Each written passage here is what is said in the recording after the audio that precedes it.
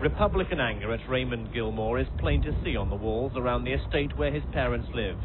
His 61 year old father was at home with his wife and one of his 11 children when three masked men went in and kidnapped him. Mrs. Gilmore was in the kitchen making a meal. She never finished it, it was left on the cooker. Two of her daughters, one of them present when it happened, say their father was taken because of their brother.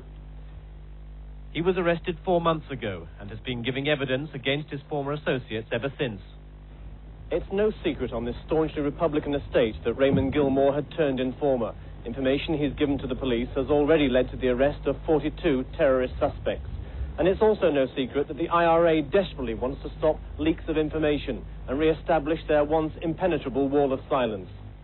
Belfast housewife Fiona Brown disappeared earlier this year in similar circumstances because her husband was also informing.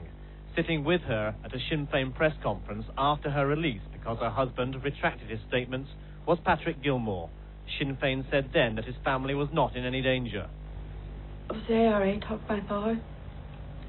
And why? Because my brother's doing what he's doing.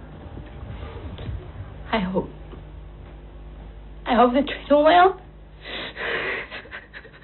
The Roman Catholic Cardinal, Cardinal Thomas Ó Fiaich has appealed for Mr. Gilmore's release to end his family's suffering. Today, whoever is holding uh, Mr. Gilmore to release him at once, every hour causes further anxiety, further worry, further strain, heartbreak, and therefore, in God's name, let's end that period of worry immediately by releasing the man. But nothing's been heard of him for over 24 hours. If he has been kidnapped to silence his son, who's in protective custody, his family may have to wait some time before they know when and if he'll be returned safely. Brent Sadler, News at 10, Londonderry.